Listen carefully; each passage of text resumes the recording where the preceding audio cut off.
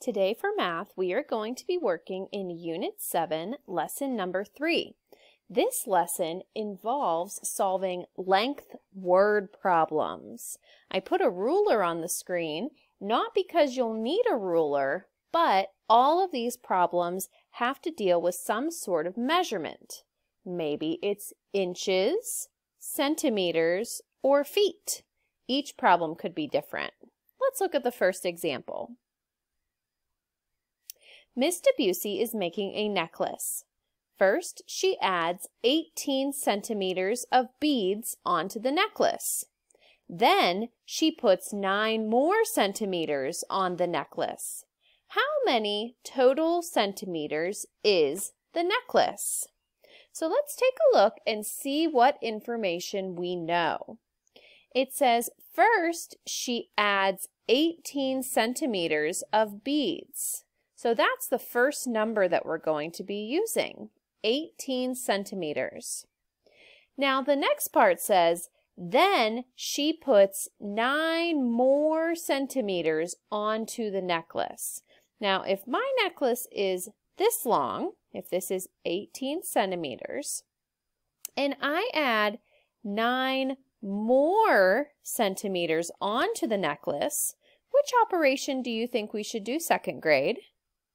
We're going to need to add. Yes, because if my necklace gets more centimeters, then I know it's getting longer. And if something's getting bigger or longer, I'm going to be adding. Now, I wrote my equation from side to side. You might want to change it to write it up and down. That's all right too. Let's go ahead and let's add up 18 plus 9. I'm going to use touch points. 9, 10, 11, 12, 13, 14, 15, 16, 17. I made a new 10, and 1 plus 1 is 2. So that means my necklace is 27 centimeters long. This is just like a normal story problem or word problem, but instead of adding items, like books or pencils or crayons, we're going to be adding different units of length. This one was centimeters. So we need to look in the problem for what our unit of length is. Let's look at the next one. A racetrack is 128 meters long. There are bushes around 59 meters of the track. How much of the track does not have bushes? Now let's take a look and see what we know already. We know that the whole racetrack is 128 meters. Now that is our total. That's how long the whole thing is. So if I were to draw a racetrack, the whole thing around is 128 meters. Now it also says there are bushes around 59 meters of the track. Now 59 is smaller than 128, isn't it? So let's pretend that let's say this amount here is 59 meters. So it's not the whole racetrack, it's only for 59 meters. Now the question is, how much of the track does not have bushes? So that's this blue part here. How much does not have bushes? So second grade, the question is, do you think that we should add 128 plus 59 or do you think that we should subtract 128 minus 59? If you said minus, you are correct because 128 is our total. And we can't have more of the track that doesn't have bushes. That doesn't make any sense. So, since we already know our total, we can subtract to find that missing piece of the track. And if you like how I'm drawing a little simple sketch, you can absolutely do that on your problems today too. There's nothing wrong with a little math picture to help us visualize what's happening. Now, let's go ahead and start subtracting. I always start in the ones place. 8 minus 9. Can I do that? No, I can't, so I'm going to go next door to my neighbor to get 10 more ones. 18, 17, 16, 15, 14, 13, 12, 11, 10, 9. Oh, I should have known that second grade. That's a double because 9 plus 9 gives me 18.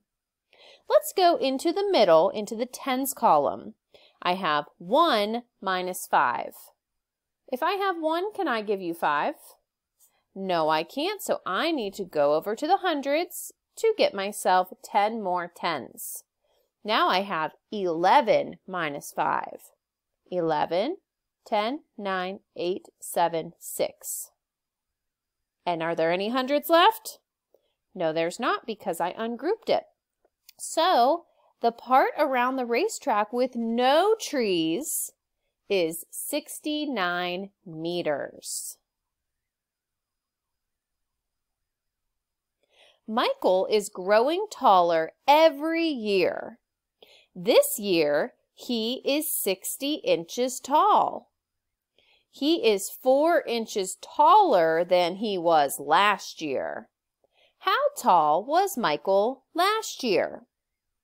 Now let's think about this for a second. Let's say we have Michael here. Don't mind my drawing. Here's Michael. And he is 60 inches tall right now.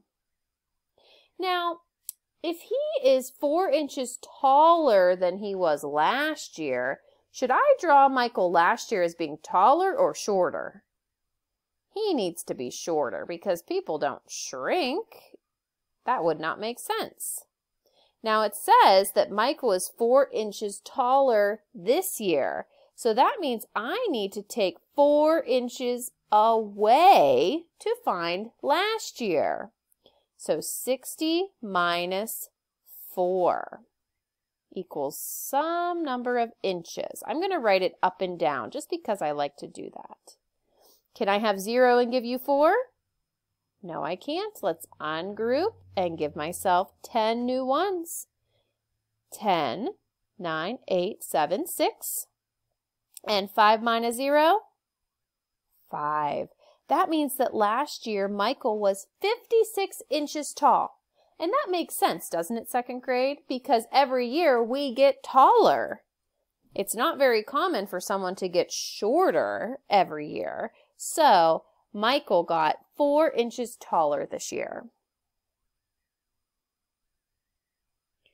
Amy has a piece of purple string that is 30 centimeters long. You know what? I'm going to draw a piece of purple string and it's 30 centimeters. She also has a piece of yellow string. Let me get my yellow pen ready. That is 12 centimeters long. Now, second grade, I know that 12 is shorter than 30, or less than 30. So I'm going to make that yellow string shorter. So let's label that 12 centimeters. How much longer is the purple string? So they're not asking us for the total. They want us to find the difference. How much longer is the purple string than the yellow string? It's almost like a math mountain or a comparison bar.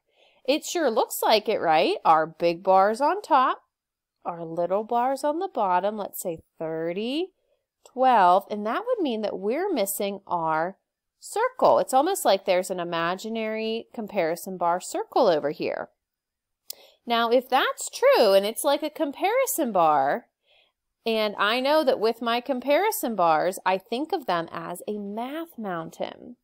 Now, if I do that, Uh, that I know at the top of my math mountain is my king, then second grade, should I add these two numbers up or should I subtract them?